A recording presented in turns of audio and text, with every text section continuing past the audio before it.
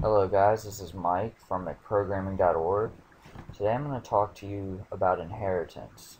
Inheritance is a very important object-oriented programming uh, feature. What it is, is being able to use a class's content um, and making a subclass that inherits from what would be the superclass or parent class.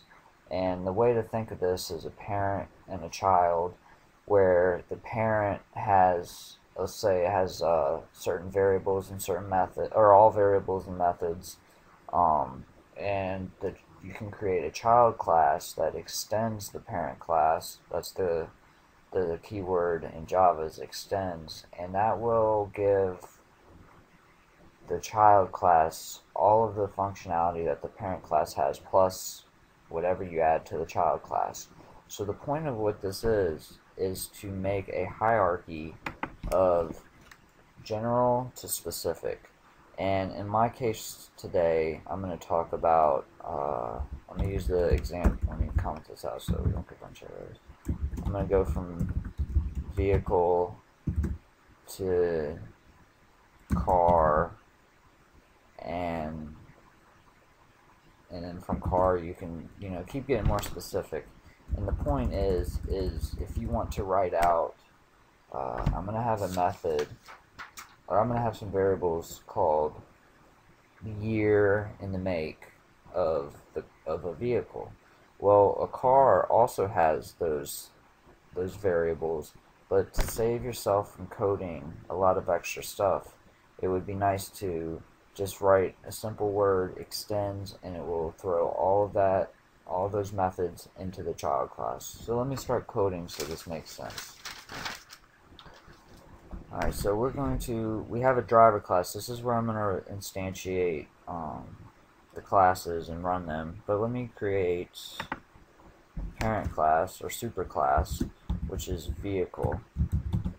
I also wanted y'all to know that the object class in java.lang.object is the superclass of every class in Java. It is the highest of the hierarchy.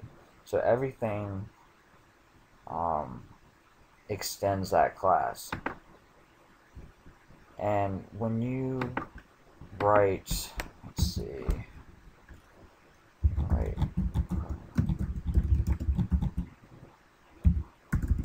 private string. I'm going to come back to what that point I was just making about how everything is extended from the object class I when I get a little bit more code written in so I can give you a good example. Here, I'm going to give this vehicle a make and a year. And then we're going to write constructor vehicle that's going to take in the make and the year.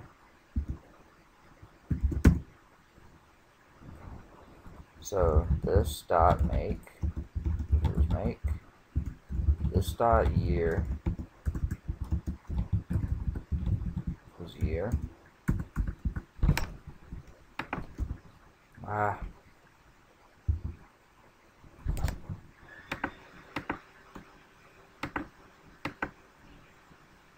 Alright. Now let's give it a give it two get methods and so I don't have to write this all out. What you can do is go to source and say generate getters and setters and what we're going to want to do is go to get make and get year. I'm not worried about set make or set year for this example. So say okay. And let's make a toString uh, there's an automatic toString. If you do not write a toString that uh, will print out the object's location in memory, and when we write our own toString, that is overriding java.lang.objects toString. So there's one example of how object is the parent class of all classes.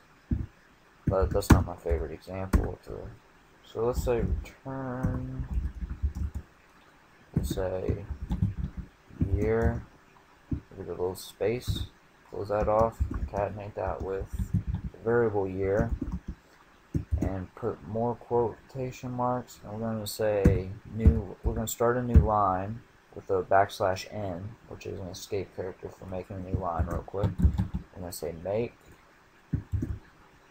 space, concatenate that with make. Okay, so there is our vehicle class.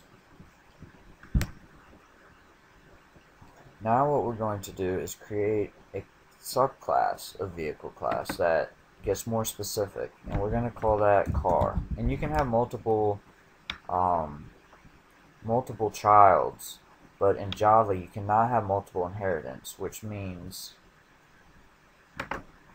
let me write this out well what I mean by that is to make vehicle the parent or superclass of car, use the keyword extends and then vehicle.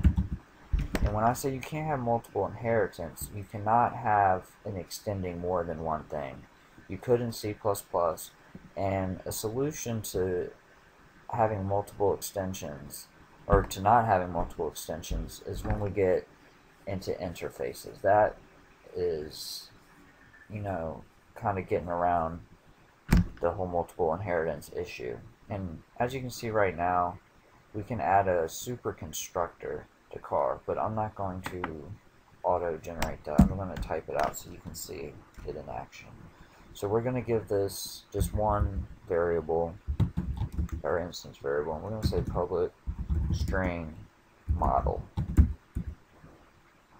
Okay, and now in this constructor, if we want to use uh, to continue the constructor from the vehicle class, we're going to use a new keyword, and it's called super.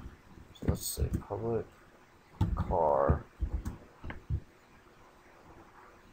and it's going to take in, I'm just going to copy and paste, it's going to take in the same parameters right here, plus model, oops, string model. But since you don't want to have to write this make equals make, because we don't have that up here, we don't have that instantiated, what you do is you call the super class by saying super, and then in parentheses, we're going to say make and year, and put it in like that. There goes all the errors. And then, but model is specific to this car class, so we would still have to instantiate, or uh, point it to model in this way that we've been doing. So this model equals model, and let's give it a get model method. I'll just type that out real quick. Public string get model, no parameters, and just return model. Alright, and now let's let's make a new toString. Public string toString.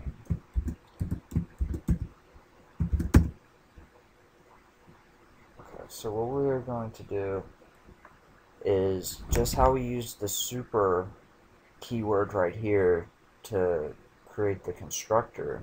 What we're going to do in here is also make a super reference to the toString of the superclass, which is vehicle. We're going to say return. I'm going to say super dot toString. and then we're going to concatenate that with new line model. Model. And we're going to put in model. Alright, so everything looks good so far. And we're going to run into a few problems with uh, visibility modifiers. And if you know what a visibility modifier is, which I should probably, I'm probably make a video on that right after this, or I can teach you within this, is private, public, and then there's a new one we're going to get into called protected. So let's start instantiating some of these. Let's just say car C equals new car. Takes in three parameters. Know what they are: make, year, and model. So over there, I'm going to say Toyota 2010 um, Avalon. So let's do this out of C. See what happens. Okay. So as you can tell, we barely we did not have to write all these codes to get um, everything within here we didn't have to repeat the code very much I mean we did have to write super but that that did not take but two lines of code right here so it saves a lot of coding when you can make a very general class that you can use in more specific classes so you don't have to rewrite this. If let's say that we had a car, a truck, a, a motorcycle, you know, all these things that take in these same variables and methods, we would have to write that out as many times as as things we have. We that's a pain. Coders are lazy. We want to not write as much as we have to. So let me show you how the visibility modifier works also. I'm going to do this out. And let me copy that because I'm going to use this a couple times. Let's say